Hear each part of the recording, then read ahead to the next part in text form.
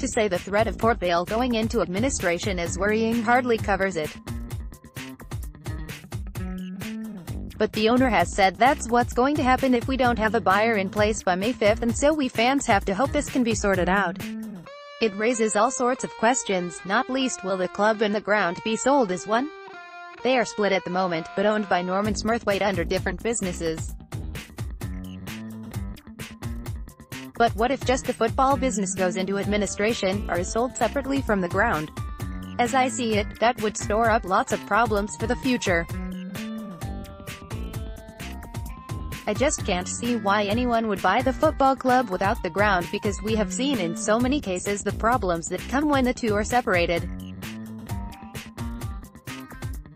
Port Vale's Roy of the Rovers Tom Pope celebrated in football art Coventry are just the latest. They had to play at Northampton a few years ago and, as it stands, they don't know where they are going to be playing their home games next season. Personally, I would like the EFL to take a stand on this and say clubs can't be split from their grounds.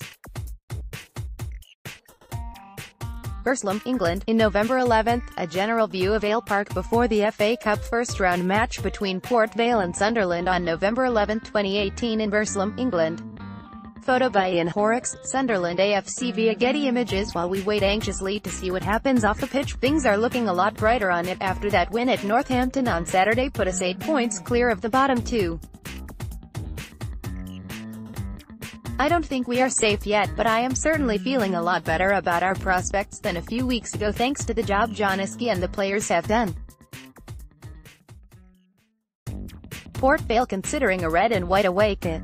You're kidding. In fact, a few weeks ago fans were worried whether John was the right man for the job, now we're worried we'll lose him to another club because he's out of contract in the summer.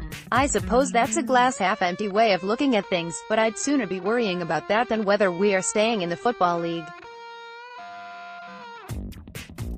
Reasons to be cheerful just lately include Tom Pope reaching 100 goals for the Vale with his winner at Northampton. Tom Pope applauds Port Vale fans after the 2-2-1 win at Northampton It's a great achievement in its own right but the fact Tom is a Vale fan and grew up with Martin Foyle as his hero makes it all the more special. I mean, how many clubs can say they have a genuine lifelong fan who has achieved what Tom has as a player? I hope he is very proud because we Vale fans are proud of him.